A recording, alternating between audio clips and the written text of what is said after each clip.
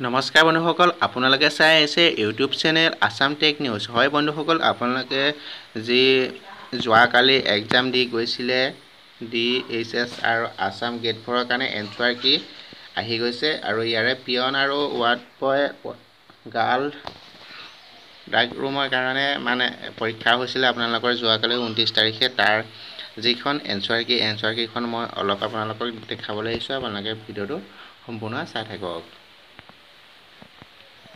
ভিডিঅ'টো চোৱাৰ আগতে আপোনালোকক মই জনাওঁ যে আপোনালোকে এনেকুৱা ধৰণৰ এতিয়া আমাৰ মেইন ভিডিঅ'লৈ আগবাঢ়োঁ। ইয়াত আছিলে organisation D H S Assam post আছ পোষ্ট ডেট আছিলে টুৱেণ্টি নাইন ন two thousand nineteen post type আছিলে question paper answer key exam grade four আৰু ইয়াৰে এক্সাম ডেট আছিলে ঊনত্ৰিছ ন টু থাউজেণ্ড নাইনটিন যোৱাকালি হৈছে টোটেল পোষ্ট আছিলে চাৰিশ তেপন্নটা four five three exam mode আছিলে O' M R written exam আৰু অফিচিয়েল ৱেবছাইটটো হ'ল D H S Assam gov dot in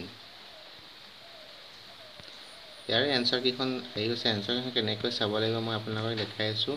আৰু ইয়াৰে ডিটেইলছ কিছুমান মই কৈ আছোঁ আপোনালোকক।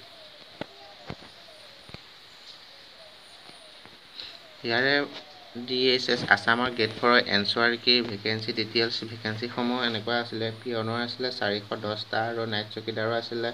আপোনাৰ পাঁচটা ডাক ৰুম এটেণ্ডেঞ্চৰ আছিলে দুটা। আৰু আছিলে আপোনাৰ হোৱাইট বয়ৰ কাৰণে আছিলে এঘাৰটা আৰু হোৱাইট গাৰ্লৰ কাৰণে আছিলে পঁচিছটা। এনেকৈ আপোনালোকৰ ভাগ কৰি দিয়া আছিলে আপোনালোকৰ যিবোৰ পোষ্ট আছিলে। আৰু ইয়াৰে এক্সাম আছে ঊনৈছ ন two thousand nineteen admit card release আছিলে তেইছ ন টু থাউজেণ্ড নাইনটিন আৰু এক্সাম প্লেছ বিছটা ডিষ্ট্ৰিক্টতে হৈছিলে exam O' M R written exam আৰু ইয়াৰে এক্সাম টাইপ আছিলে ওৱান এক নম্বৰকৈ আছিলে আৰু এক্সাম টোটেল মাৰ্ক আছিলে এশটা আৰু ইয়াৰ এক্সাম আছিলে দুঘণ্টা।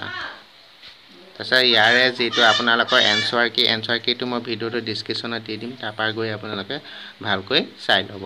নমস্কাৰ বন্ধুসকল আজিলৈ ভিডিঅ'টো ইমান আছিলে এনেকুৱা ধৰণৰ ভিডিঅ' পাই থাকিবলৈ মোৰ চেনেলটো ছাবস্ক্ৰাইব কৰিব আৰু কাষতে থকা বেল আইকনটো দবাই লৈ অলত প্ৰেছ কৰি দিব যাতে মই দিয়াৰ লগে লগে আপোনালোকে মোৰ ভিডিঅ'বোৰ পোনপ্ৰথমে পাই থাকে। নমস্কাৰ বন্ধুসকল জয় অসম